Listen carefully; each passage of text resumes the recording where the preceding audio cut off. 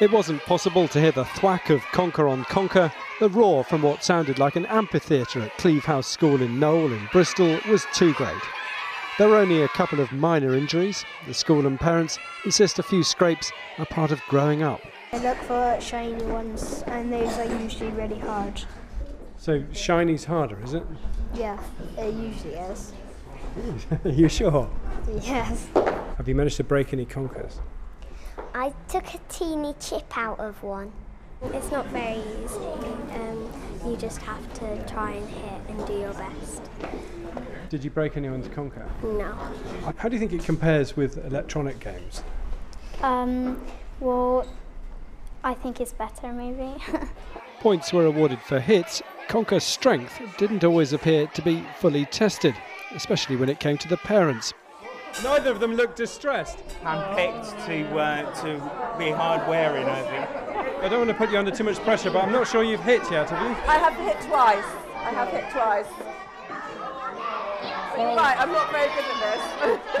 Are you going to bust the conker or are you just trying to hit it? I'm going for points. I think we got away with one little bump, but um, he's still walking.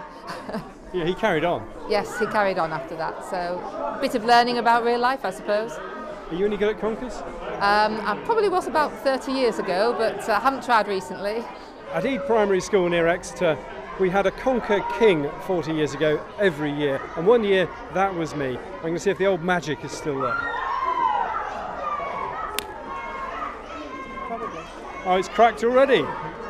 The magic might have been there. Sadly, the bottom half of my conker was not. Inside, the real champions were carrying some hefty silverware. What's the secret of your success, Emily? Just to hit the conker and then if you just win, you just get the medal. Fantastic. You had a good tactic, William. You had a very short string. Yeah, I, I realised the shorter the string, the easier it would be to hit the conker.